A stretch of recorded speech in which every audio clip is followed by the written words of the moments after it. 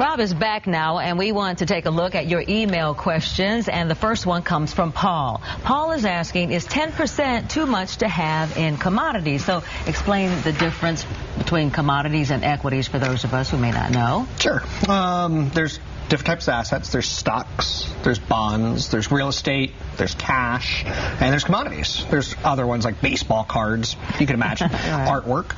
Um, commodities are a great asset class because they can hedge inflation. They're sometimes decoupled from the stock market, so the stock market can go down, and yet commodities can go up. And they include things such as? There's three groups. There's metals, there's agricultural, and holy mackerel, oh, energy.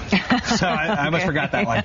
So that's like, uh-oh. Um, and a lot of people see, as our economy recovers, demand for commodities will go up, and as demand goes up, prices tend to go up. So 10% of your portfolio 30 years ago would have been crazy because they're incredibly expensive.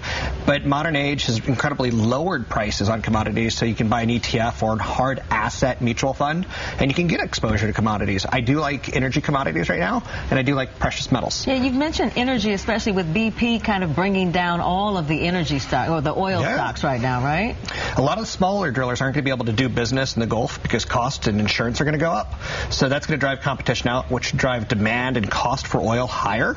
So it's going to be more expensive to get out of the ground. So you're going to see alternatives like Suncor, which does oil sands in Canada. That'll become more attractive. Natural gas in America will become more attractive. But it's just hard to know which one, which ones of those to select because there's a storage issue. There's still a collection Trans issue on the energy transportation. Issues, yeah. Absolutely. Um, How do you know which one to pick? I think the, the, what we know right now is that the costs in the Gulf are going to go up. So you want to stay away from the smaller players there. Okay. Um, and yes, there will be winners. Like um, suddenly, if it costs you know $100 to refine a barrel of oil, that if the price of oil goes to 150 a barrel, then suddenly we'll be able to get it out of the sands of Canada a little bit easier than the Gulf per se. So um, the Gulf is is helping Canada enormously. Okay, let's look at the next question. This one comes from Dolores. Dolores says, "I bought Tesla at $26 and now it is below the IPO price. Help!"